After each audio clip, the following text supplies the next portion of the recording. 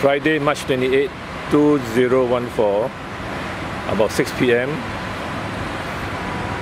The nine-year-old female golden retriever looks so much better and uh, she let out the pee and the abdominal swelling is gone. And overall, she, she looks brighter and can go home today. This is considered, is it the third day? Now I take out the tail and see that she's wagging her tail and uh, you see there's no more discharge. No more, no more vaginal discharge.